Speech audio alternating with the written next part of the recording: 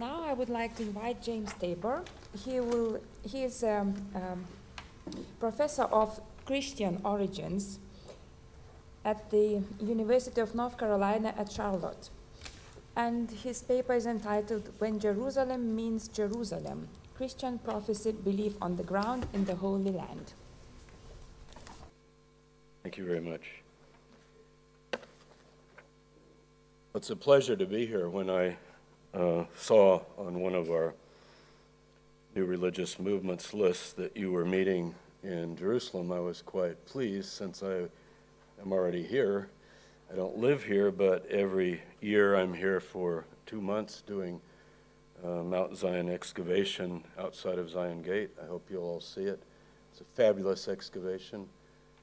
Uh, we're the only American university digging in Jerusalem, and I have 119 people here this year with Shimon Gibson, and we're uncovering these Second Temple areas. So uh, I was already here.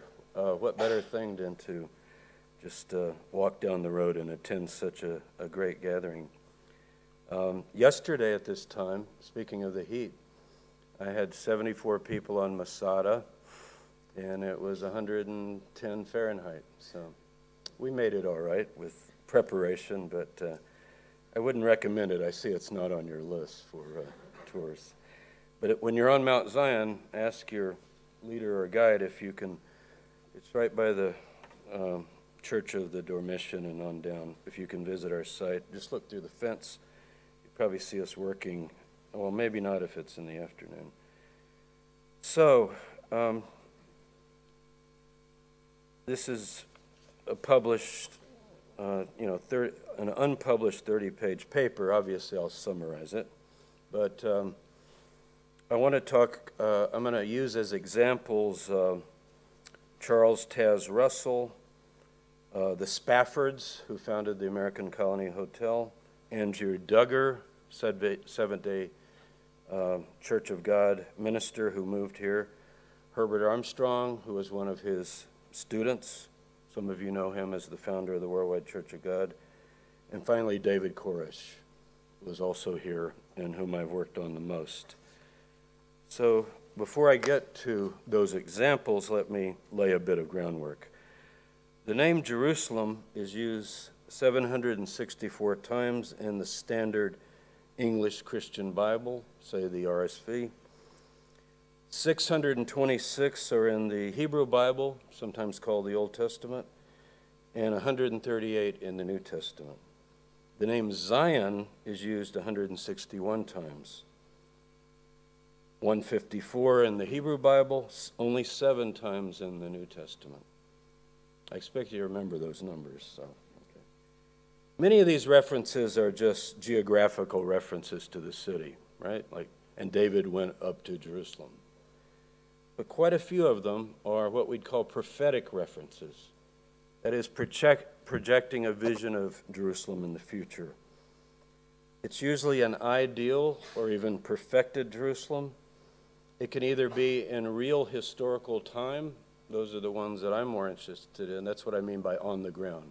You actually come here, you don't just wait for Jesus to come and somehow take you either over here or to heaven um, or some sort of eschatological future. So we're going to deal with more the on the ground kind of thing.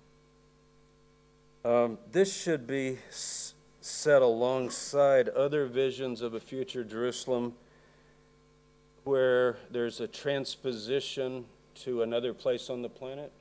Um, Eileen and George both alluded to that. You think of the Mormons in Utah or even in Missouri, talking about the New Zion, or my own ancestors, the Taborites, followers of John Huss. They form a town called Tabor. That's why I'm usually thought of as Jewish when I come here. My name, Ani Yaakov Tavor. uh, so, uh, why would they call it Tabor? Because they're on a mountain south of Prague and they, they name the mountain Mount Tabor because Jesus, they wrongly think, as far as location, was transfigured on Mount Tabor. Probably that's not uh, really, that's a later Crusader view that it was there.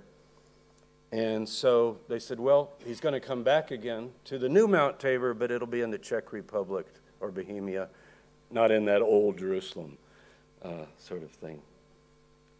Lots of Bible references. Certainly the most dominant, I think, would be this one. Let me just read it to you, see if it's familiar. It was so important to David Koresh. It was important to Russell. It was important to the Spaffords and uh, to Herbert Armstrong, all of these groups. This is probably their banner verse. It's Isaiah 2, 2 through 4. By the way, it's inscribed on the wall of the UN uh, as you enter into the United Nations. So clearly it has a, a wide appeal. It'll come to pass in the latter days that the mountain of the house, let's use Jehovah instead of the Lord, that the mountain of the house of Hashem or Jehovah shall be established as the highest of the mountains and shall be raised above the hills, and all the nations shall flow to it. So you can just walk outside and take a quick cab ride to the old city, and you can see this mountain of the house of the Lord. So it's going to be raised up, either literally or figuratively. But here's what then happens and many people shall come. These are not Jews, these are other nations, the Goyim, the nations of the world. And they will say, Come, let us go up to the mountain of the Lord, to Jehovah, to the house of the God of Jacob that he may teach us his ways, and we will walk in his paths. For out of Zion, using that as also the word for Jerusalem, shall go forth the Torah and the word of the Lord from Jerusalem. He will judge between the nations. He will decide for many peoples. This is the part that's on the UN wall. And they will beat their swords into plowshares and their spears into pruning hooks, and nation shall not lift up sword against nation, neither shall they learn war any more. So all of us can be inspired by that. In 1956, the Soviet Union had a statue cast of a robust looking kind of Soviet male beating a sword into a plowshare, quoting Isaiah, and they donated it to the UN. If you go behind, it's on the East River, and you can actually see. Uh, I thought, isn't that interesting that the Soviet Union, at that time supposedly atheistic, would say, We need an image for peace. Uh, how about Isaiah chapter 2? So that's the base. There are many other passages. Here's, here's a short one. At that time, notice the time, last days, at that time. At that time, Jerusalem will be called, will be called the throne of uh, Jehovah, and all nations shall gather to it to the presence of Jehovah in Jerusalem. Now, that sounds like you would buy a ticket, right? And maybe come over or take a boat or somehow get here. It's not that you sit in your own place where you live and imagine the future, right? People are actually coming here. At least that's how those are read. And one more, and there are hundreds of these. Sing and rejoice, O daughter of Zion. This is God speaking. For lo, I come, and I will dwell in the midst of you, and many nations shall come and join themselves to Jehovah in that day. Notice, in that day, so it's supposed to happen in the future. And I will dwell in the midst of you, and you will know that uh, Jehovah has uh, sent me. It's actually a prophet speaking in Jehovah's name. So, those are the literal passages that some Christians who read the Bible in a fairly literal way have said uh, that'll be something that will be observed by the whole world. I tell my students if you can film it on CNN and report, you know, we're standing at the Mount of Olives and yes, it has now split open, and you know, in other words, these things are taken very literally. Uh, it could involve Jesus as the Messiah if you're Christian, but it also, you notice Isaiah 2 is not a messianic passage. It's, it doesn't mention a Messiah, it, it's uh, God will uh, cause this to happen. So, what happens in the mainstream church is Christians spiritualize that. Theologically, it's called supersessionism you simply tick off all the main elements of the Hebrew Bible, starting with Israel. It's not physical Israel, but spiritual Israel. Jerusalem, it's not the literal dusty, dirty city, right, of the 19th century, but it's actually heavenly Jerusalem, and so forth. So that all the main elements, the Torah, it's not a Torah scroll that you would read in a synagogue, it's the Torah written in the heart. It's not a temple that you would go to and worship, because you are the temple of God.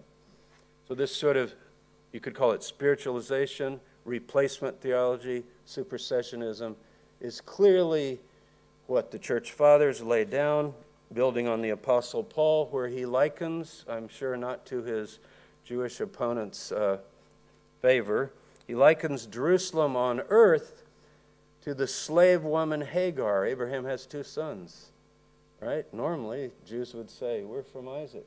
Abraham, Isaac, Jacob. Oh no, you're from Ishmael. Not literally, right? That would be the Arab peoples, not literally. But spiritually, you're from Ishmael, meaning when you're born, you're born into the slavery of sin. But Jerusalem above, which has nothing to do with where we're sitting right now, is the mother of us all. You see? So we're the true children of Isaac, the Christians. So you get that reversal, that redefinition. That doesn't really leave much place then for reading your Old Testament, your prophecies, and taking it literally. Now, too much to cover just now today because I wanted to get to my examples, but this began to reverse in the 19th century. Um, John Nelson Darby, 1830s, former clergyman of the Anglican Church, he developed an idea called dispensationalism. His ideas get into the Scofield Bible, which is uh, uh, let's, I, I wrote down the first time it was published. I think it was 1906 or something. Let me look. Uh, 1917, millions of copies published. So it's Darby's ideas. He formed the Plymouth Brethren. That begins the reversal. That reversal is very small at first, and now it's just astounding. Uh, among evangelical fundamentalist Christians in the United States, it is the dominant view by far. I would say 90%. And therefore, there's a support of the state of Israel with it. So, what is it? What is that view? It's the view that Christians have not replaced the Jews with respect to all blessings. Okay? The Jews, the Christians partake of the spiritual blessings, but the physical ones still belong to the Jews. This is generous. The Jews are therefore still the physical heirs of the promised land and should play a part in gathering and preparing it for the Messiah. So you get a kind of Christian Zionism, right? Now that's literal. You come here, you actually build. Now, everybody knows Herzl, and most people think, oh, that's secular. Herzl's secular. It's nothing to do with any of this. But Herzl was connected to Christian Zionists. There's a Christian named uh, Hechler, that some of you know about, who introduced him to Kaiser Wilhelm II and really gave him the audience uh, in the European Parliament. He met Lord Rothschild and he met Chamberlain in 1902. And in his uh, diary, he does say this, just so you know he's not the proverbial secular Jew, holy. He said, When I was 12 years old, I had a dream that the King Messiah came, a glorious and majestic old man. He took me in his arms and swept me off with the wings of the wind. In one of the iridescent clouds, we encountered Moses and other figures. And the Messiah said to Moses, It is for this child, meaning him, that I have prayed. Go declare to the Jews that I will come soon and perform great wonders and great deeds for my people and the whole world. That's a sight of Herzl people don't know much about. And uh, he talks about it uh, somewhat even in Der Judenstaat if you look at the introduction. Uh, but others are involved. Uh, David Lloyd George, Prime Minister of Britain during the war, the war here means 1916, he was of Welsh Baptist background, and he's extremely influenced by Darby's ideas that Israel means Israel, the Jews, and Jerusalem means Jerusalem, and it should actually be rebuilt literally in our time. It's very important. I just mentioned the Prime Minister, Lord Balfour. The Balfour Declaration is influenced is a Christian Zionist, influenced by Christian Zionists. This has all been written about, and some of you know this. So the famous phrase, Her Majesty's government views with favor the establishment of a Jewish state in Palestine is a statement of faith based upon interpretation of the prophets. Very important to understand that. Now, let me go to my examples. Charles Taze Russell, people think uh, he's the founder of the Jehovah's Witnesses. As George knows, that's certainly not the case. He would hate that idea. He's the founder of what he called Bible Students. You don't have any name, you're just Bible student. And he published these six volumes. And one of his most distinctive teachings is that Jews should return to the land of Palestine and rebuild it to prepare for the coming of Messiah. So you could call him a Christian Zionist. In 1910, he conducted this famous meeting. You might have seen pictures of it in the New York Hippodrome. There were thousands of people gathered, including Jews, thousands of Jews, like Herzl did in Europe. And he, he says, We encourage you to go back and build the land. And he, he speculated that before 1914, is that a date we know? Uh, the Jews would be back in the land and there would again be a state of Israel. Not, he didn't necessarily call it Israel. Now, the Spaffords I have particular interest in, and I encourage you to visit the American Colony Hotel. It's the most lovely place I think you can go in Jerusalem. In the evening, the garden is open. Go about 6 or 7 o'clock when it starts getting cool. You'll be blown away by its loveliness. What does that have to do with Christian Zionism? Oh, it's a sad story. I don't even know if I can tell it without uh, uh, being moved. But, I mean, without, you know, losing it. Um, Horatio and Anna Spafford lived in Chicago. The Great Chicago Fire of 1871 destroyed, if you know Chicago, down to Michigan Avenue where the water tower is. And they devoted themselves as Christians to helping the fire victims and so forth. And after working for a couple of years, they were so tired. They were, he had a wealthy business. He's, uh, Spafford's uh, uh, business survived. They said, let's take a trip to Europe. Let's go on holiday. So they took the four daughters and Anna, the wife, they went early because Horatio had some business to take care of before he could join them. They went on, they were headed for Switzerland to a lovely hotel. And tragically, there was a collision, and all four daughters uh, drowned. And Anna cabled, I bought this to read you because you can go to the colony and go inside the colony and look on the wall. You can read this telegram. She wrote to him. He didn't know. This is Telegram back then. No iPhones, right? No text messages. Saved alone, what shall I do? And then she explains the girls are dead. He's absolutely devastated. He's sitting in the hotel in Chicago. I've got the document here. Maybe you know the Brevoort Hotel, Clark and LaSalle. And he writes this unbelievable, unbelievable song. I won't sing it for you. I could, but I won't. Uh, that any of us who grew up in evangelical Christianity know well. When peace like a river attends my soul, and sorrows like sea billows roll, whatever the, my lot you have taught me to say, it is well, it is well with my soul.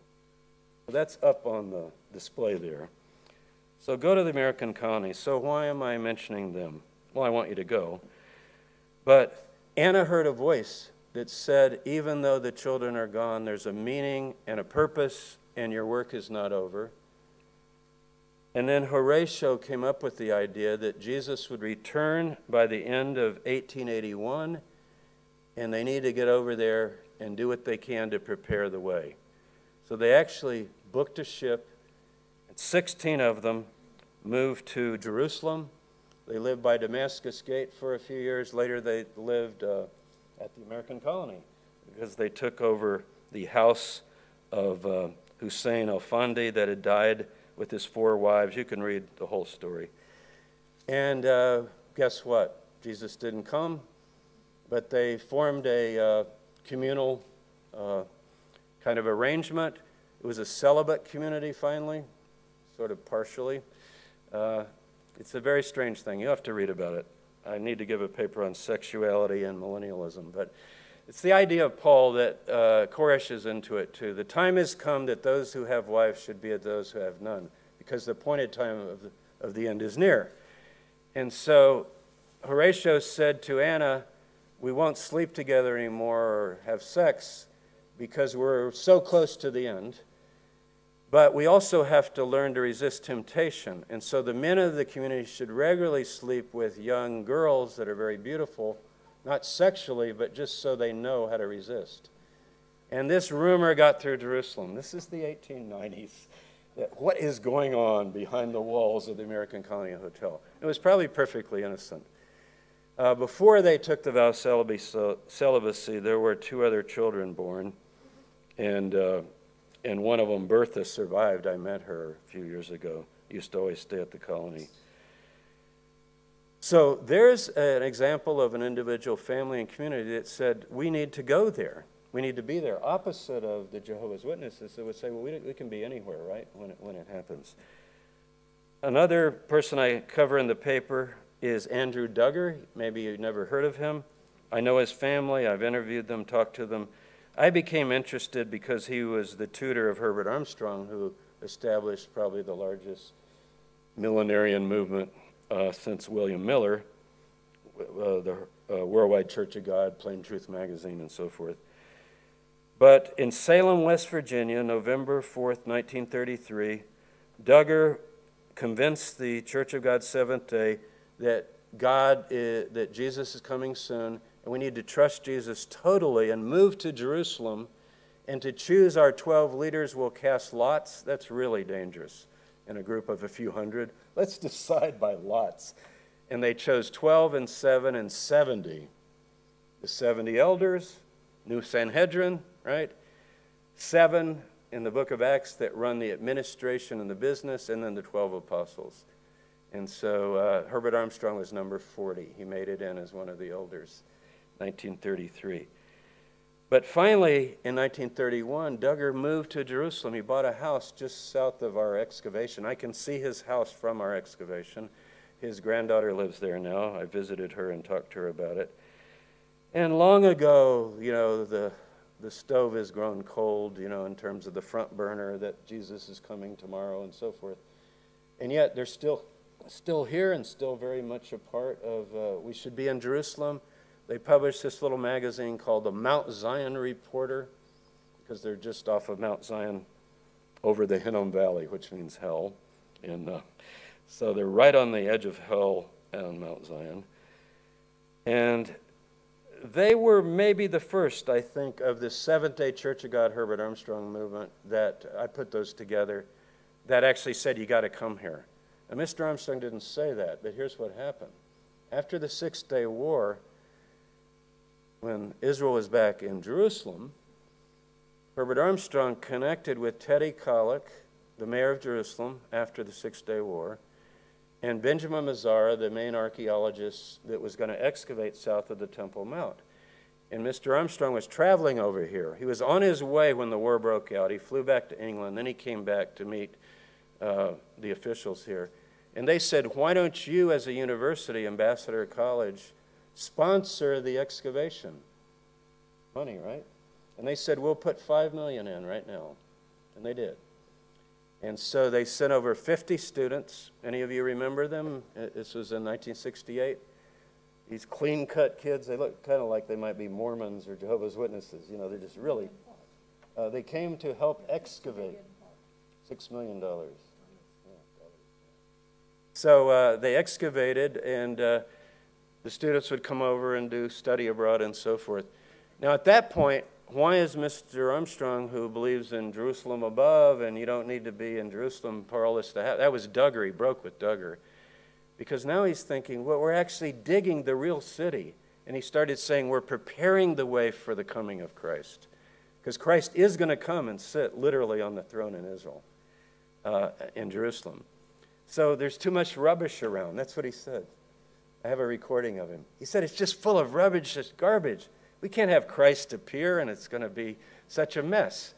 And uh, we got 2,000 years of debris even over the steps leading up to the temple. Let's clear that off. It was an odd kind of turn of events. And finally, I'm running out of time. So, David Koresh. The David Koresh story, all of you who know my story know that's my hook into new religious movements.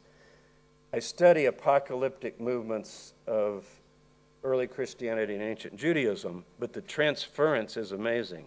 You can jump 2,000 years just like that because some of the same chronologies, the same hopes, the 70 weeks prophecy, the Dead Sea Scroll people were already figuring that out. They just had it 2,000 years earlier, and it was also wrong. So, um, anyway, so what did Koresh do? Uh, the Waco David Koresh, you know, the fire. He only had one disciple from Israel, Pablo Cohen, uh, who moved to Texas and died in the fire. I've talked to his mother after the tragedy. But many don't know David came here in 1985. He lived on Kabad Street in David Cherokee's apartment. I love doing this field work, knock on Cherokee's door. Can I see the apartment? He's, is it vacant? He said, I saw a rent sign. I want to go in David Koresh's apartment. Tell me all about it. So he told me that the day David moved out, he stayed a year. He said he's walking down the stairs with his guitar on his shoulder, and he's, his pregnant wife, Rachel, who's going to bear Cyrus, is walking down, and they're packing their things and headed back to America. David came here because he wanted to meet the rabbis, like Jesus did, at Aish HaTorah. Some of you are going to grin at that. So picture David Koresh knocking on the door of Aish HaTorah near the wall and saying, I've come to uh, teach you the Bible. And uh, like the rabbis of old, they weren't overly impressed with this young man. Uh, and remember, he was 33 years old when he died, and his father was a carpenter, and you got all these parallels that they were excited about. But let me tell you what he did uh, also that I think is more important. And I'll, I'll close with this one. And my paper goes into all these, and I hope you'll read it when it's published. It's really fascinating kinds of stuff, these stories. He read in Revelation 14 that the Lamb, whom he thought he was, will stand on Mount Zion with 144,000. So when he first got here, it's the first thing he did. He took a cab from Ben Gurion and he said, I want to go to Mount Zion. They brought him to Christian Mount Zion. You know, there are three Mount Zions. There's the city of David, there's the Temple Mount, and now Christian Mount Zion. He didn't know the difference. He goes up there, and you're going to go there, some of you, some of you have been. Dormition Abbey, Room of the Last Supper, David's tomb. I don't think we can get 144,000. So it, maybe it's not literal. But see, he was already beginning to say Ellen G. White and the Adventists are wrong. They make everything spiritual. The millennium's in heaven. It's New Jerusalem, not literal. And he's taking it all literally. Like, we're going to be here with our 144,000 followers. So then someone, he, he said, Is there any other space here? And this man said, Come with me through the garden of the Dormition Abbey. I hope you'll go there. And suddenly you walk out, and there's this largest space in all of Jerusalem, completely unbuilt on, open field, has two soccer fields, a tennis court. These are run down. I'm not saying don't go play there, but they're just, they're for the Greek Orthodox uh, seminarians. The Greeks just happen to own this huge plot of land. I'm hoping someday we can excavate there because it would be the very summit of Mount Zion. And I think we might. But David looks at that and he was absolutely confirmed. That's like your confirmation of Noah when he goes, Oh, well, you know, this proves that we're right about this. He says, We can easily fit 144,000 in this space. And so I am right. Literally, I'm coming back right here where I'm standing, and my fathers will be here. We're going to fight with Israel in the last battle.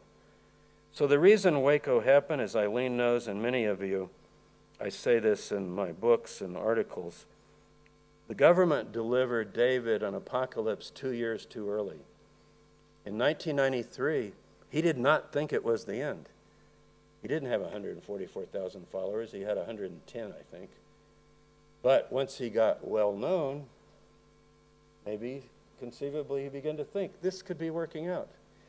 He expected it in 95. It had to do with the 70 weeks prophecy, the 1335 days, the 1290 days, the 1260 days of Daniel. If that sounds like gibberish, then you, you're not into these groups, but they all play with these dates. And so uh, he thought he would come and literally uh, be acknowledged by Jesus Christ, who would return and stand on the Mount of Olives and say, David, my faithful son, come up here, and there'd be the chosen ones and so forth. So that's what my paper is about. It's about this tremendous turn of taking the Bible literally. It has two parts to it. One is you're going to do it, a kind of messianic consciousness. like Koresh or somebody like that. You know, you're the guy or the girl, you're going to do it. And others are just let the Jews do it. Uh, and that's the more popular. It's kind of sinister, as you who are Jewish know very well. The Christian Zionists love you to death, meaning, uh, please come, build, grow, be great, so that Jesus can come and then you can convert or whatever. So thank you very much.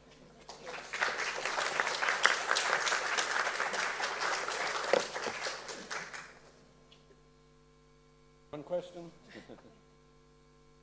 I think you have a 15-minute break, so. Yes, ma'am. Yeah.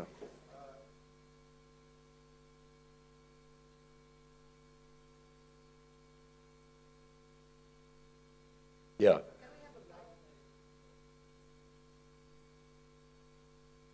Maybe stand up and speak, yeah.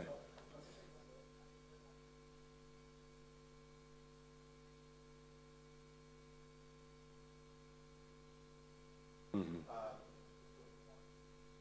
Right. Absolutely, right.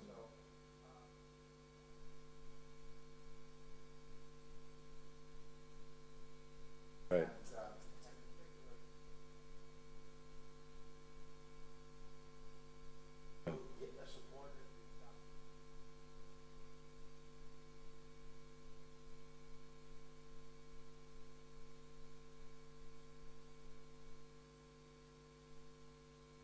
both this seemingly pro-Jewish Yeah. and, and something that was very anti-Semitic. I mean, Exactly. And Darby is very anti-Semitic. I think in, in so, uh, so I mean, Mm-hmm. uh, you know, in terms of biblical prophecy and the and, and the basic kind of biblical timetable, the the only the, the main reason to support the reestablishment of the state of Israel and even the rebuilding of the temple, right, is so in fact, yes, Jesus can come, And the Antichrist then, can come, and yeah. then doesn't uh, doesn't all of uh, Judaism bow down Right. to the Messiah, right? So that's you know the whole story is. Now maybe that's in your paper, but anyway, that I had that. that was Some of that question. is, but I will say, you know, Darbyism, that's 1830, and it gets spread in many ways after Scofield. But let's take, uh, I would say, uh, Hagee in San Antonio, Texas, Christians United for Israel. Uh, he certainly would denounce the protocols strongly and would stand against all of that. He's closely associated with an Orthodox rabbi in San Antonio and so forth. And I think uh, Falwell and Robert, Pat Robertson and others wouldn't have picked that up. But you're right, it's got that potential always because you're essentially saying, we love you because we love your souls and want you to be saved by Jesus Christ. So it's a love that's parenthesized by that caveat. And I think for many of them, it is a genuine caring for humanity because they're sincere in their faith and they want to save you. They don't want you to go to hell, to put it bluntly. But on the other hand, it can have a political side to it, right? And uh, it's very easily can turn that way. So thank you for that, bringing that point up. Thank you. Thank you.